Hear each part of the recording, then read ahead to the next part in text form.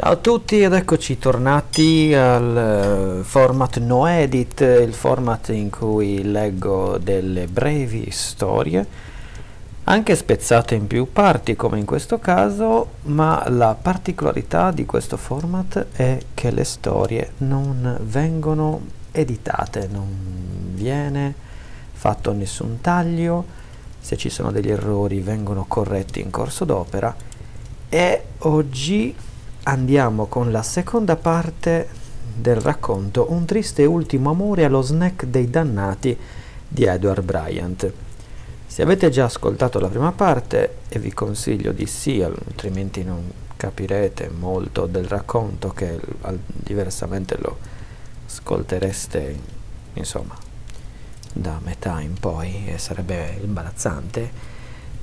Ho da fare un piccolo appunto, non ho memorizzato le voci dei personaggi. Quindi perdonatemi se qualche timbro dovesse cambiare. Buon ascolto. Bobby Mac accompagnò a casa Marta facendo il giro più lungo. Probabilmente farei meglio a risparmiare la benzina. Non so fino a quando le cisterne continueranno ad arrivare, ma non voglio considerare ancora chiusa la serata. Neanch'io, disse Marta. La samurai aveva sedili separati, ma lei fece del suo meglio per appoggiargli la testa sulla spalla. Si diressero a sud, quasi fino al confine con il New Mexico, fermandosi di colpo e tornando indietro quando videro i lampeggiatori della polizia e le fiamme di qualcosa che bruciava in mezzo alla strada. È la nostra polizia di Stato o la loro? Io sono fuori servizio, immagino che abbiano la situazione sotto controllo, qualunque cosa sia successa. Quei ragazzi hanno un bel volume di fuoco. Tornarono verso nord, girando a sud di Fort Durham, per la strada che saliva fra le colline a ovest della città. Due fari, uno dei quali fuori allineamento e troppo forte, li tallonavano. Bobby Mac strizzò gli occhi fissando il bagliore nello specchietto, poi, a un tornante, accostò al lato della strada per lasciar passare l'altro veicolo. Un camion Ford nero li superò con un ruggito. Sembrava Billy Gaspar. Cosa diavolo starà facendo quassù? Il rumore del camion si allontanò. Rimasero sulla samurai e ammirarono le luci sparse di Fort Dunham sotto di loro. Di notte sembra più grande, Molte cose danno la stessa impressione. Forse è per questo che molti trovano pauroso il buio. Quando ero bambino d'estate mi svegliavo sempre verso le tre, le quattro di mattina. Avevo regolato una specie di sveglia mentale. Poi uscivo di nascosto ed esploravo i dintorni del ranch. Le cose più grandi erano le mucche da latte. Se ne stavano immobili sotto la luna, grandi e calde e silenziose. Marta lo sbirciò di sottecchi. Allora non c'erano gli zombie. Non qui almeno. Credo però che i primi ci fossero già in Giamaica o da quelle parti. La radio dice che non sono la stessa cosa. L'altro giorno ascoltavo un dibattito alla NPR. Ascolti queste cose alla radio. Lui sembrò sorpreso e al tempo stesso compiaciuto. Anch'io. Non sono stupida, Bobby Mac. Sì, ascoltavo la NPR. Avevano in studio un prete voodoo che se la prendeva come un matto perché la sua gente veniva incolpata per gli zombie. Beh, e lui chi voleva incolpare? Marta si rannicchiò sul suo sedile. Non voglio parlare di zombie. Per un po' sarà l'unica cosa di cui tutti vorranno parlare. È l'evento più straordinario che sia successo in questa città da non so nemmeno quando. Trascorse un lungo minuto. Bobby Mac, pensi mai di andartene da qui? Ad andartene da qualche altra parte? L'ho già fatto. Sono andato all'università di Durango. 300 chilometri non sono una grande distanza. Tu non hai parlato di distanza. Hai capito perfettamente quello che volevo dire. Non so se mi piacerebbe un altro posto. Capisco cosa vuoi dire, ma a volte mi chiedo che effetto farebbe scoprirlo di persona. Andare da soli in California o da qualche altra parte? Servirebbe solo ad aumentare la solitudine. Già, io mi sento sola anche qui. Lui sembrò sorpreso. Sei sempre stata la ragazza più graziosa di tutta la città. Ti senti sola? Non ne sai molto sul mio conto, vero? Forse avevo paura di quello che avrei scoperto. Non c'è motivo di averne paura. Marta gli sfiorò dolcemente la guancia. Nessun motivo. Lui fece il gesto di alzare le spalle. Come ti ho detto, ho sentito voci disse lui. Erano tutte false. Lui le sfiorò i capelli, il viso, le labbra. Devo rifletterci sopra. Sul serio? disse lei guardandolo fisso al chiarore del cruscotto. Sì. Lei gli sfiorò la guancia con le labbra.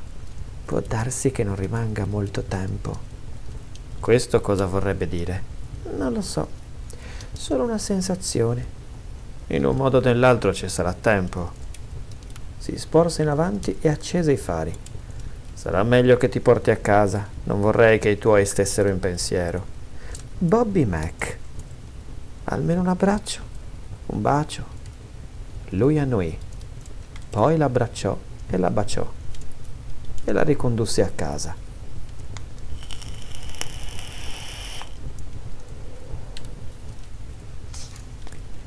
Che strano, disse Marta quando entrarono nel cortile dei Malinkowski sei chilometri a nord della città. Cosa? Bobby Mac fermò la samurai accanto alla casa e spense i fari. La luce del cortile è spenta. Papà ha cambiato la lampadina solo la settimana scorsa. Forse l'ha spenta lui. Non lo fa mai quando pensa che potrei tornare tardi. Forse credeva che sarei tornata subito dopo l'assemblea. Non aver paura. Sei con il vice sceriffo, ricordi? Ricordo. Marta scese dalla samurai. Bobby Mac girò intorno al muso della macchina per accoglierla. Mancava solo una notte alla luna nuova e il buio era fitto. Dammi la mano. Non ci tengo a rompermi una gamba. Immagino che tu conosca il terreno. Sui gradini dell'ingresso Marta cercò la chiave nella borsetta. Con questa storia degli zombie papà ha deciso di chiudere a chiave tutte le porte di notte. Trovata la chiave, Marta sollevò gli occhi verso di lui. Buonanotte, Bobby Mac. Qualunque cosa lui fosse sul punto di dire andò perduta, mentre entrambi udivano un suono di passi rapidi e pesanti che facevano scricchiolare la ghiaia dietro di loro. Una sagoma indistinta si stagliò nell'oscurità.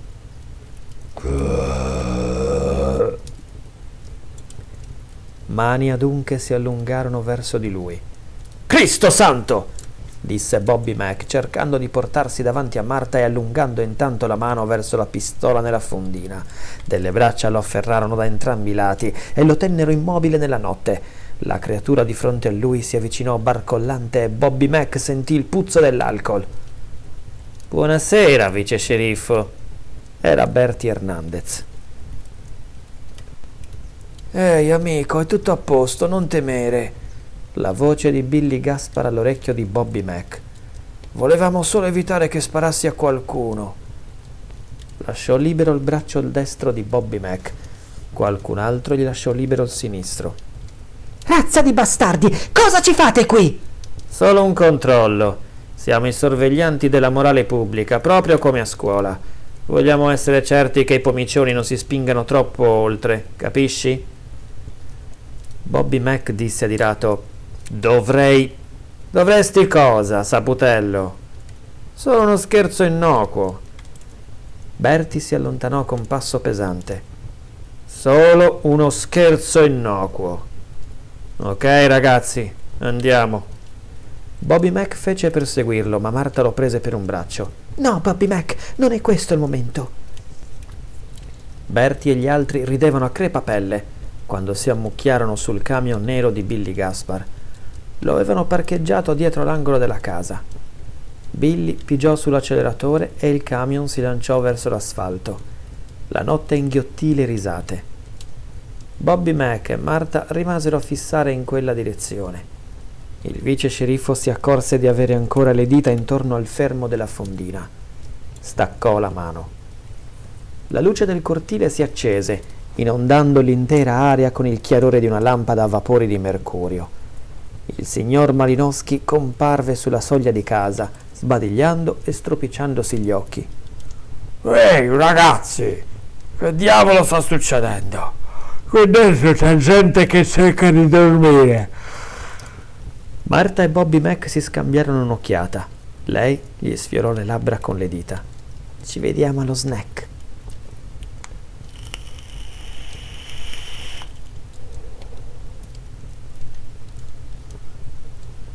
La mattina dopo le chiacchiere allo snack erano imperniate su due argomenti, il football e gli zombie. Par- la partita di precampionato fra i Broncos di Denver e i Seahawks di Seattle, di Seattle era stata annullata appena prima del calcio d'inizio. Circolavano voci di atrocità commesse negli spogliatoi e di giocatori semidivorati. Devono essere stati zombie di Seattle, disse cupo Shine Willis. Era l'unico modo per poter battere i Broncos. Nessuno lo contraddisse. Ok, signor Sottutto, disse Bertie. Ascolta, ho una domandina per te. Tutti ascoltarono, specialmente Shine. Gli animali possono morderti e trasformarti in uno zombie? Vuoi dire i cani? Farsi mordere da un cugio? Che mi venga un colpo se lo so. Nessuno lo sapeva, ma tutti avevano un'opinione in proposito. Me lo chiedevo perché questa mattina, quando sono uscito dalla roulotte, il bastardo dei Jergenson ha cercato di aggredirmi e ho dovuto stenderlo. Sembrava fosse già morto da un paio di giorni. Billy Gaspar assunse un'espressione tetra. Cristo, ci mancava solamente che anche le bestie se la prendessero con noi. Io non mi preoccuperei. Il cane dei Jergenson era sempre incazzato con il mondo intero. Probabilmente non gli è andata a genio la tua faccia. Ti hai rifatto la doccia questa mattina? Gli uomini lungo il banco risero. Un po' nervosamente, pensò Marta. Lei intanto smistava i piatti di frittelle, uova, patate, bacon e pane tostato. Versava il caffè, quello vero. Nessuno da quelle parti beveva decaffeinato. Una mano ruvida le afferrò il polso, il bricco del caffè oscillò. Per me basta, sto cercando di berne meno. Lasciami andare, disse lei. Lui non si mosse, lei rimase ad aspettare. Un quadretto silenzioso. Gli altri li fissarono, poi ripresero a chiacchierare, ma le occhiate continuavano a spostarsi furtive verso Marta e Berti. Ieri sera mi sono fermato a bere con Carl Cramp fino a tardi, Racconta cose molto interessanti. Ne dubito. Ora lasciami andare. No. Dice che hai un piccolo segno sotto la tettina sinistra. Sembra un uccello. È vero? No! Marta passò il brico fumante del caffè nella mano destra. Adesso lasciami andare o ti rompo questo in testa. Nel silenzio improvviso, la radio che suonava I Don't Even Try di John Hyatt sembrò echeggiare troppo alta. Gli uomini al banco non finsero più di guardare da un'altra parte. Dal momento che sembri così ben disposta verso Bobby Mac, disse Bertie, come mai non vuoi fare niente con me? Carl è un bugiardo. Bertie la guardò fisso negli occhi. Certo, e le lasciò libero il polso. Magari stasera potremo andare a Walsenburg lei parlò senza rendersi conto di quello che diceva. Preferirei scopare con uno zombie. Lo disse a voce talmente bassa che nessuno la sentì all'infuori di Bertie. Lui continuò a fissarla. Marta si girò e tornò verso la cucina, cercando di muoversi con naturalezza e senza scatti nervosi. Non appena al riparo dagli sguardi dei clienti, si asciugò due lacrime appena spuntate. Sentì un, od- sentì un dolore bruciante. Il polso. Lo voltò e vide i segni bluastri sulla pelle. Sembravano le ali di un uccello.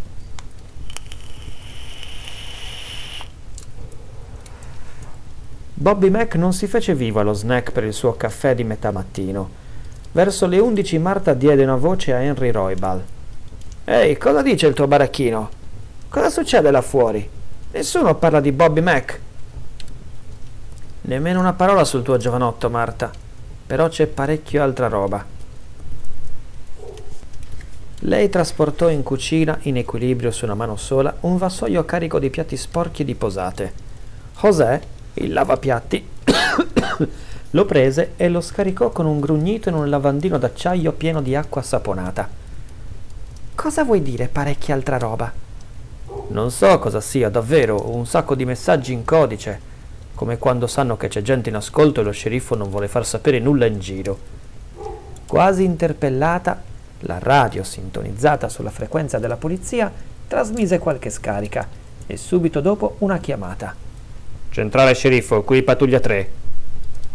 Parlate, pattuglia 3. Ehi, affermativo. Kenny e io confermiamo branco di vegetali appena oltre 1,5 di contea al Centennial Ditch. Devono essere rimasti nascosti nella prima chiesa battista. Stiamo per entrare in azione come da ordini ricevuti. Vegetali, disse Marta. Henry Roybal annui. È tutta la mattina che ne parlano. La radio lanciò un'altra scarica. Pattuglia 3, non fate idiozie. Centrale, potete mandarci rinforzi? Negativo, pattuglia 3. Le acque sono agitate in tutta la contea. Va bene, centrale, faremo il possibile. Ho il mio vecchio Kalashnikov AK-47 nel bagagliaio. Sui Charlie funzionava. Penso che metterò una fila o due di vegetali. Mio Dio! Ripeto, pattuglia 3, procedete con cautela. Abbiamo già perduto un paio di mietitori questa mattina. La radio rimase silenziosa. Poi la voce della pattuglia 3 disse: Lo sappiamo, centrale. Questo dovrebbe pareggiare il conto per Dale e JB. Henry Roybal esalò un lungo respiro. Marta lo guardò. Sapevano tutti e due perfettamente di chi stava parlando la voce. Due poliziotti del posto. Anche loro non si erano fatti vivi per il caffè. Bobby Mac, pensò lei fissando la radio, di qualcosa. Fai rapporto, ti prego. Ehi, centrale, ci sono dei civili dietro di noi il reverendo Beecham con degli altri. Ci fu una pausa. Poi la voce si fece più debole, come se chi era l'apparecchio avesse sporto la testa dal finestrino. Ehi, pastore! Vi serve aiuto? È arrivata la cavalleria! Un grido strozzato filtrò attraverso la radio. Una seconda voce urlò: Centrale, sono vegetali, anche. Una serie di spari. Un altro grido rumori indistinguibili, poi un suono raschiante come se qualcuno stesse masticando il microfono. Silenzio. Pattuglia 3, cosa succede? Fate rapporto, pattuglia 3! Marta uscì di corsa dalla cucina, cercando di ricacciare indietro i suoni provenienti dalla radio. Bobby Mac. Almeno lui non era nella pattuglia 3. La radio sopra la cassa suonava Long Black Veil di Nick Cave. Perché non trasmetti qualche notizia? le gridò Marta. Il sindaco Ernesti cerca di evitare il panico, disse Bertie Hernandez. Lui e i suoi compari dovevano essere rientrati nello snack da un paio di minuti. Si erano portati dietro un po' della neve sottile che ricopriva il parcheggio. Sulle piastrelle del pavimento c'erano chiazze di acqua scura. Io credo di essere ormai pronta per il panico, disse candidamente Marta. Voglio sapere cosa sta succedendo. Non preoccuparti, dolcezza, disse Bertie. Se dovesse succedere qualcosa ti proteggeremo noi. Questa mattina non avete visto in giro Bobby Mac, vero? Bertie e Shine Willis si scambiarono un'occhiata. Non di recente. È un ragazzo in gamba, starà senz'altro bene, ma avrà molto da fare. Non lo vedrai prima di stasera. Ma cosa succede là fuori? Per tutti i santi, volete dirmelo? Sono gli zombie, disse Billy Gaspar. Si diffondono più in fretta dell'AIDS. Già, sembra che basti un morso. Non c'è bisogno di finire ammazzati. Quei bastardi sono già in tutta la città. Hanno preso un mucchio di gente che conosciamo tutti e due. Ne abbiamo uccisi parecchi, disse Billy Gaspar. Ma sono troppi. Adesso dobbiamo starcene al riparo e riposare. Lo snack è un posto buono come un altro. E poi credo che ci farà bene mangiare qualcosa. Qual è il piatto del giorno? Polpettone. Uh, Non credo che la mia pancia possa reggerlo. Mangiare o essere mangiati?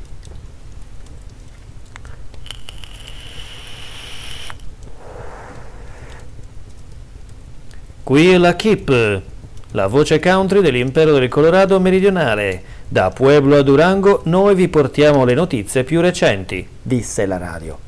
Dacci un taglio, dimmi soltanto cosa sta succedendo.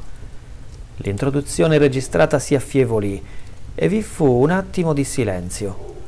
Quando l'annunciatore parlò, lo fece con voce stanca e quasi terrorizzata. Vi parla Boots Bell dagli studi della KIP a nord di Fort Durham. Devo leggervi tutta una serie di comunicati della massima importanza, quindi farete meglio ad ascoltare attentamente. Ti stiamo ascoltando, coglione! disse Bertie Hernandez con tono non meno teso di Marta. Avanti, parla! I ragazzi non erano usciti spesso quel pomeriggio. Erano rimasti nei dintorni dello snack, portando dentro armi dai loro camioncini e bevendo litri di birra. Era arrivato anche qualche altro cliente abituale.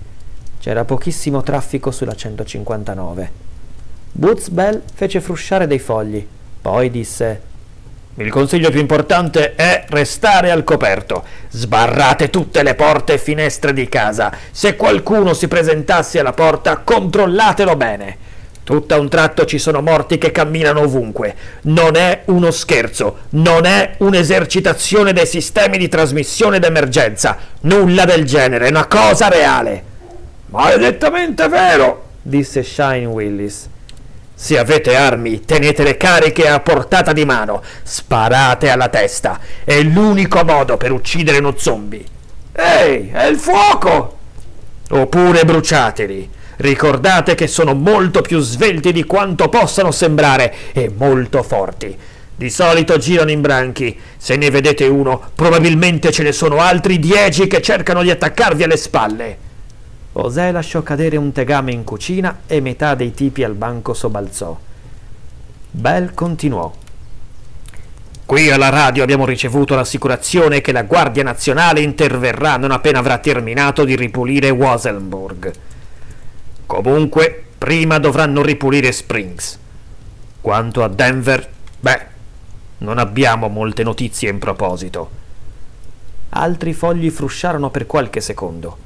Qui alla KIP stiamo tenendo aggiornata una mappa di tutti gli avvistamenti, quindi se vedete uno zombie fateci uno squillo e noi inoltreremo la segnalazione. In sottofondo si udì un'altra voce, indistinguibile. Poi Bell aggiunse dal numero di avvistamenti già ricevuti possiamo avvertirvi che non è igienico restare allo scoperto a Fort Durham. L'ufficio dello sceriffo e la polizia fanno quello che possono, insieme a gruppi di volontari. Ma se non dovete uscire per forza, restate in casa. Non uscite per nessuna ragione. Il direttore mi ha appena detto una cosa. E io sono d'accordo con lui. Se resteremo uniti, ne usciremo senza troppi danni. Tenetelo a mente. Nello snack gli uomini in possesso di armi le strinsero più saldamente e si scambiarono occhiate silenziose. Ritorneremo con altre notizie non appena le avremo. Ora ascoltiamo un po' di musica.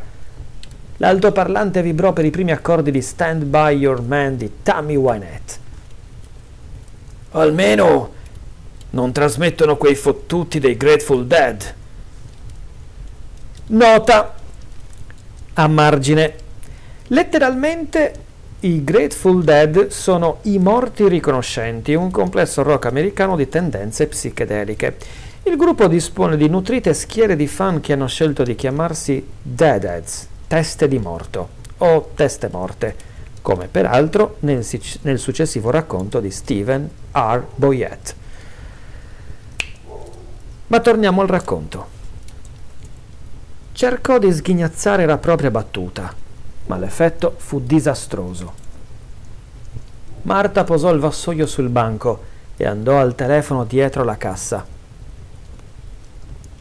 Fece il numero dei genitori, sapendo che naturalmente stavano tutti bene, ma desiderosa di una conferma. L'unica cosa che ottenne nel ricevitore fu il morbido ronzio di una linea interrotta. Verso le tre il primo zombie comparve nel parcheggio dello snack era la signora Dorothy Miller, capocassiera alla banca degli allevatori. Cristo santo, ammazzatela! disse Bertie indicando la porta Shine e Billy.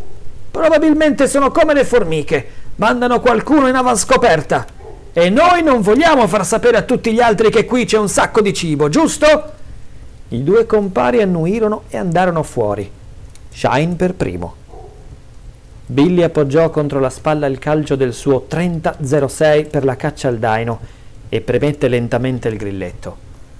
La pallottola si piantò netta nell'occhio sinistro della signora Miller. Lo zombie allargò le braccia e fece un mezzo giro su se stesso. Avvicinandosi, Shine sollevò il suo Remington a pompa e fece esplodere la testa della signora Miller. Shine e Billy trascinarono il corpo dietro l'angolo dello snack, poi tornarono dentro e bevvero un sorso di acquavite casereccia dalla fiasca di Michele Spinosa. Marta se ne accorse a malapena.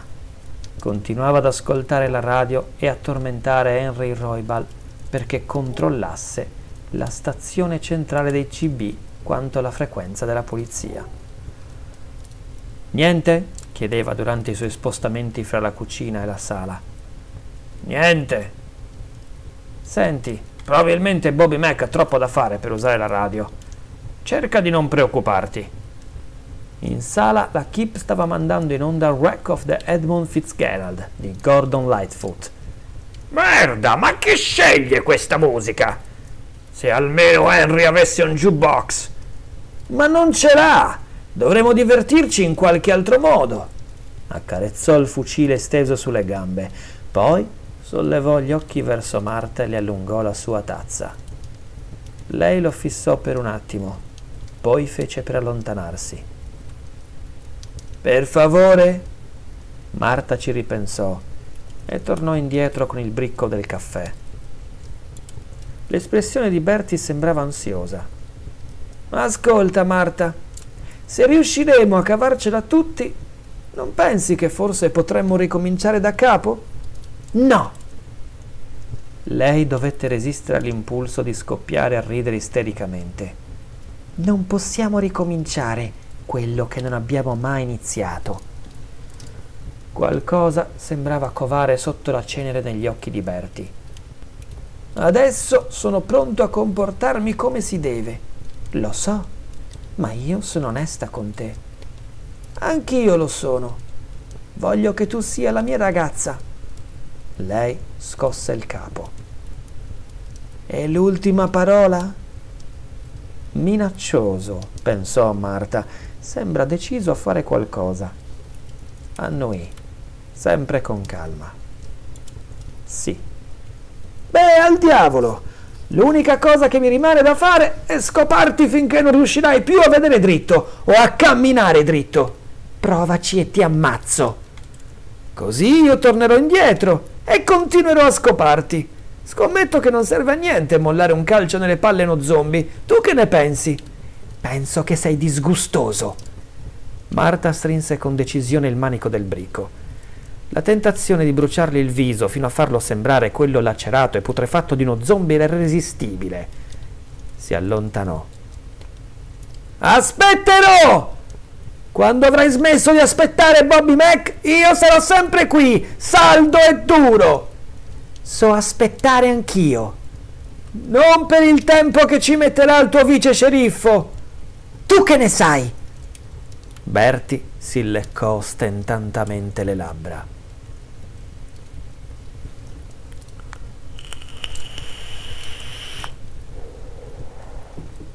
Verso le sei cominciò a fare buio. Henry Roybal uscì dalla cucina e accese l'insegna Qui si mangia. Credi che sia una buona idea? disse Shine. Pensi che gli zombie sappiano leggere? Quando erano vivi sapevano farlo. Sono animali, bestie, e scommetto che non vedono nemmeno i colori. La discussione morì lì. Il neon sul tetto sfrigolava e scoppiettava. Il chiarore sulla neve davanti alla vetrata variava dal rosso al verde. Forse dovremmo tentare una sortita. Scappare verso il New Mexico, disse Michele Spinosa.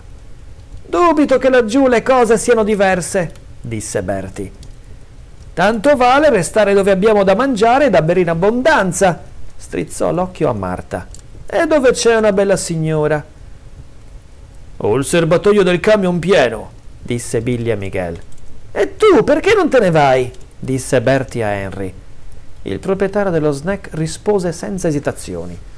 Mio padre si è fermato qui a Fort Durham mentre era diretto in California nel 30. Gli piaceva questo posto. Anche a me piace. Sono rimasto qui durante le inondazioni e siccità, tormente di neve e tornado. Non ho intenzione di farmi scacciare da un branco di figli di puttana cannibali. A intervalli la radio ripeteva i comunicati del primo pomeriggio. Sembravano esserci pochi sviluppi. Gli avvertimenti continuavano. Restate in casa, sbarrate le porte, caricate le armi, mirate la testa. Finalmente Boots ne aggiunse uno nuovo.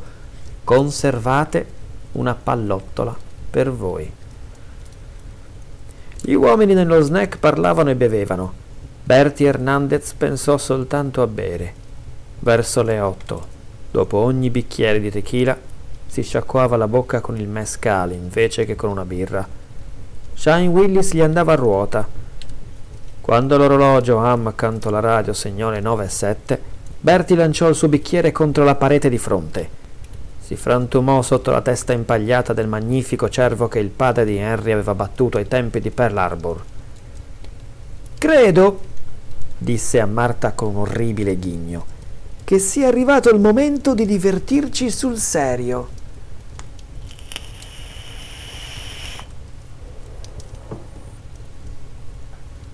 Miguel e Shine si erano spostati ai lati di Marta.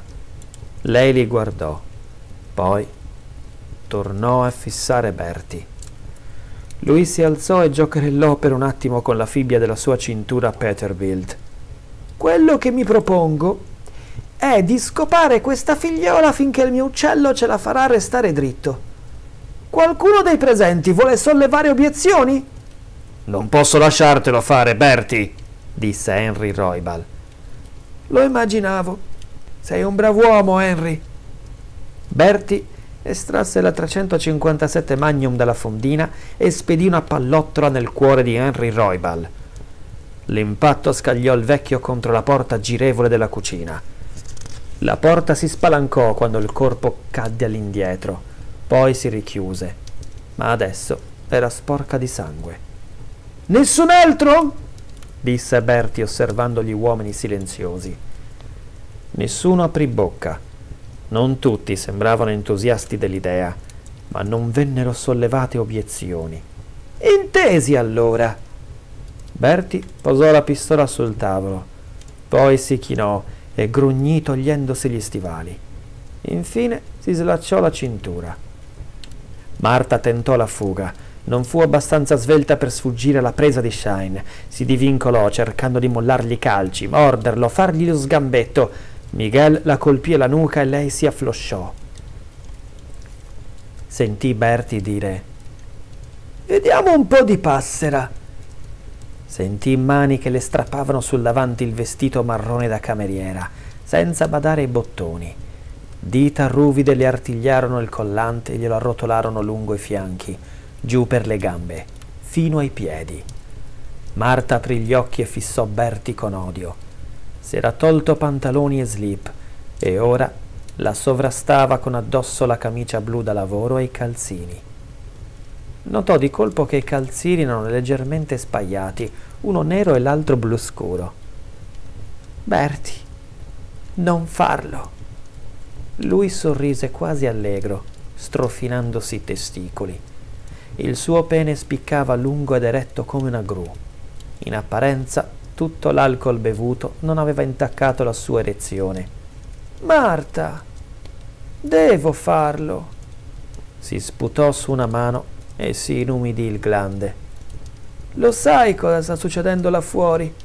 Può essere la tua ultima possibilità. Lei non trovò le parole per rispondergli in modo adeguato. Berti sorrise. Oh, non perdere tempo a sognare un salvataggio all'ultimo istante del buon vecchio Bobby McQuintana. Finalmente, lei si decise ad affrontare ciò che già sospettava, ciò che non aveva nemmeno voluto pensare. Cercando di apparire calma, disse Cosa gli hai fatto? Non è quello che gli ho fatto io, disse Bertie avanzando fino a fermarsi fra le sue gambe divaricate. Casomai è quello che gli ha fatto il Doberman dei Jägerson. Io l'ho soltanto liberato dalle sue sofferenze. È stato un favore. Avrei fatto lo stesso per un cane. Marta sentì le lacrime farsi avanti e le respinse. Non c'era tempo. Improvvisamente la radio sembrò farsi più forte, come se il suono le venisse trasmesso direttamente nelle orecchie. La Keep stava suonando Poor Poor Pitiful Me. Stronzate! Marta inarcò la schiena, alzando di scatto la gamba destra verso l'inguine di Berti. Lui si girò con inattesa rapidità, assorbendo il colpo con la coscia. Le posò un piede sulla caviglia sinistra. Shine le afferrò la destra. Miguel ridacchiò accanto alla sua testa. Esprimi un desiderio. Non c'è gratitudine in questa passera, disse Berti con tono discorsivo. Ma vedremo fra poco, fece per inginocchiarsi fra le sue gambe. Quando Bobby McQuintana entrò dalla porta principale. Non la aprì, entrò sfondandola con uno scroscio di vetri infranti e fra le urla degli uomini lungo il banco. Cosa cazzo? disse Berti, balzando in piedi e tuffandosi verso la magnum sul tavolo. Fra urla e bestemmie tutti cercavano di togliersi dalla strada di Bobby Mac. Lui si fermò là per un istante e Marta vide che non era vivo. Indossava la sua uniforme, ma era senza cappello. La camicia cachi era incrostata di sangue secco che doveva essere sgorgato molte ore prima dalla spaventosa lacerazione alla gola. Sul petto c'erano tre buchi neri dove erano penetrate pallottole di grosso calibro. Una quarta pallottola lo aveva colpito al viso, aprendogli una guancia e spostandogli il naso di sbieco. La decomposizione era già iniziata. La carne intorno alla bocca sembrava granulosa. I fluidi che uscivano dalle ferite al viso luccicavano al chiarore delle lampade a fluorescenza. Cristo, Bobby Mac! disse Berti impugnando la sua pistola con mani tremanti. Quante volte devo ucciderti? La fiammata e la detonazione si proiettarono verso Bobby Mac, facendolo vacillare all'indietro ma senza abbatterlo. Lo zombie si girò leggermente per guardare Marta ancora sul pavimento. La sua bocca si aprì e in qualche modo un suono riuscì a levarsi gorgogliante dalla gola lacerata. Marta! Bobby Mac tornò a voltarsi verso Berti, avanzando rapido prima che l'altro potesse premere di nuovo il grilletto. Il vice sceriffo morto afferrò il pene di Berti, stringendo saldamente la base turgida e lo scroto. Con un solo poderoso colpo diede uno strattone verso l'alto e la pelle cedette come stoffa marcia. Il braccio dello zombie si sollevò mentre l'addome e lo stomaco di Berti si aprivano come se qualcuno avesse strappato la chiusura ermetica di un sacchetto pieno di lasagne. Le viscere si sparsero per la sala dello snack.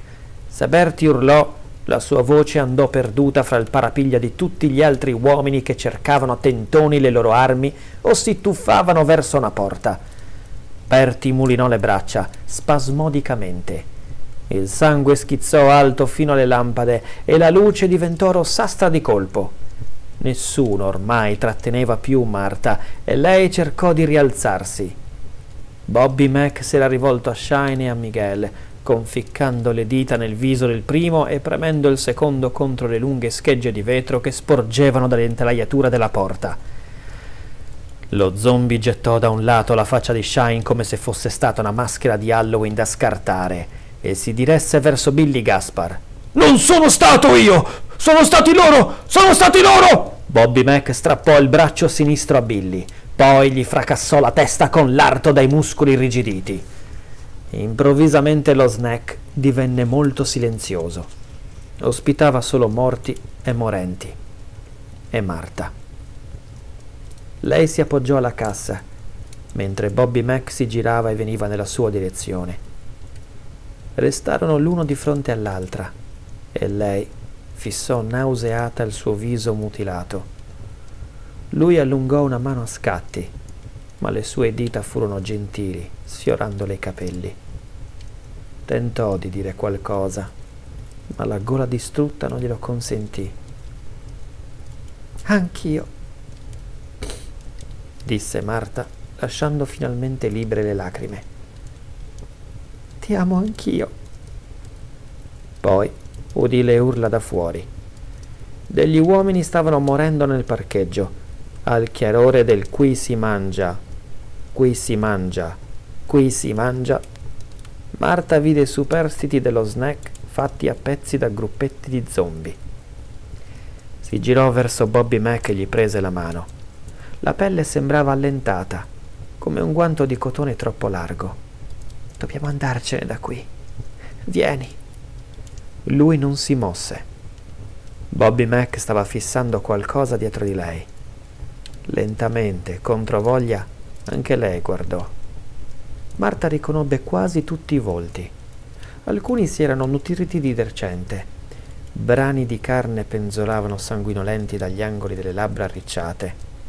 Erano tutti là, i suoi incubi. Carl Crump padre, gli occhi morti infiammati dietro le lenti infrante di un paio di occhiali di tartaruga in equilibrio precario.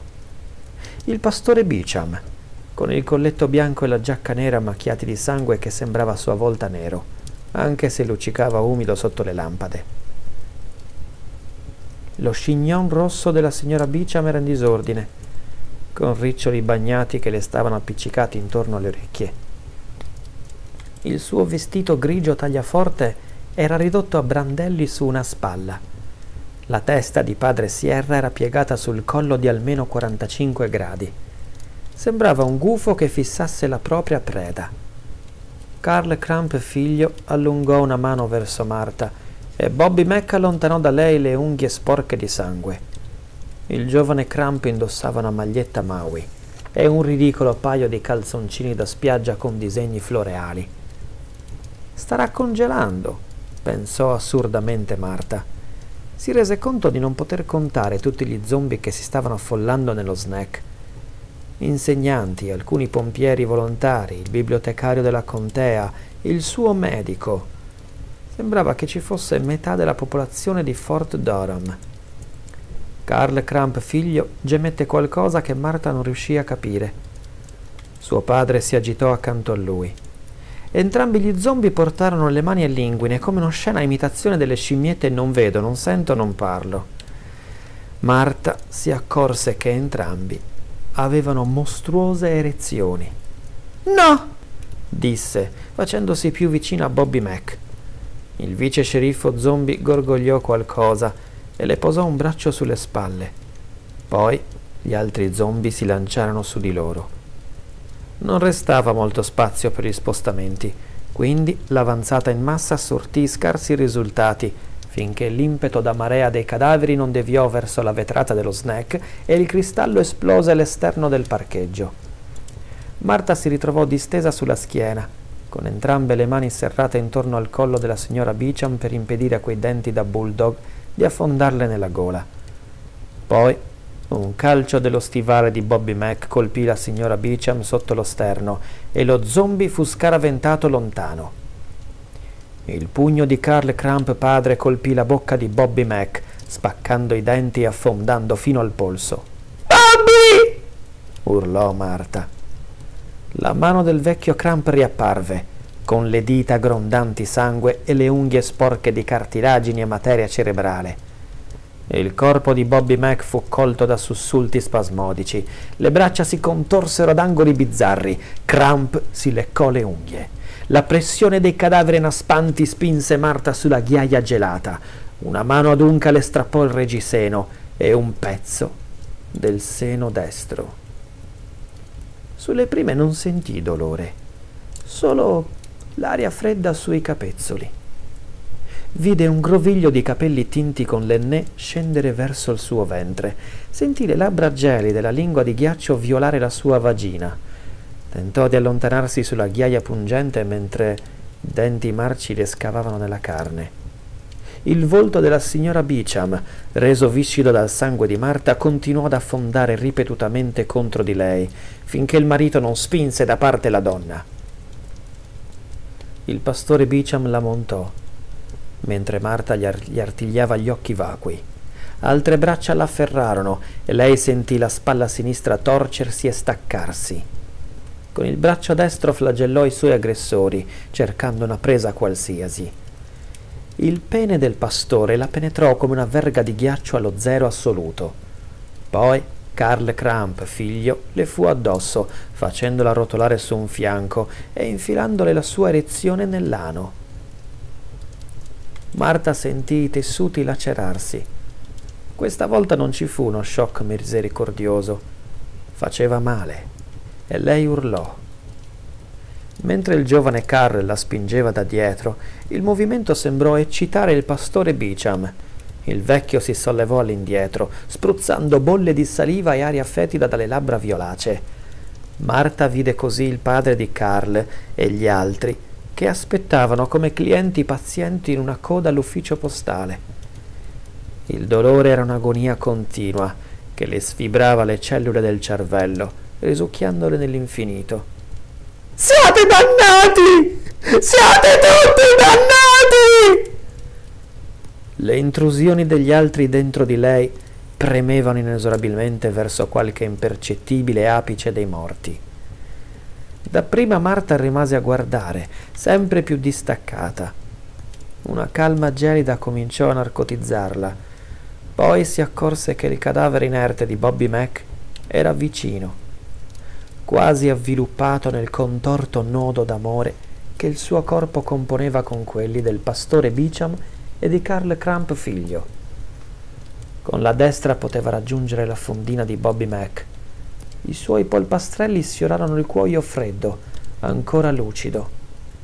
Di sicuro doveva esserci ancora una cartuccia carica nel tamburo della sua 38 Polis Positive. Ti prego. Karl Kramp padre le si sedette quasi sul viso, facendo scorrere le dita avanti e indietro lungo la sua erezione paonazza. Le dita intorpidite di Marta tirarono le falda della fondina, annasparono sulla chiusura, il pulsante scattò. Sentì il calcio in noce zigrinato della pistola. Grazie, Bobby Mac. Gli zombie dentro di lei grugnivano e spingevano. Marta ne avvertiva altri, molti altri, che si affollavano intorno a lei. Occhi morti la fissavano, ma nessuno di loro vedeva non avevano mai visto. La sua vista cominciò a oscurarsi. Gli zombie continuavano a venire e a venire. Mi basta una pallottola, pensò Marta. C'era.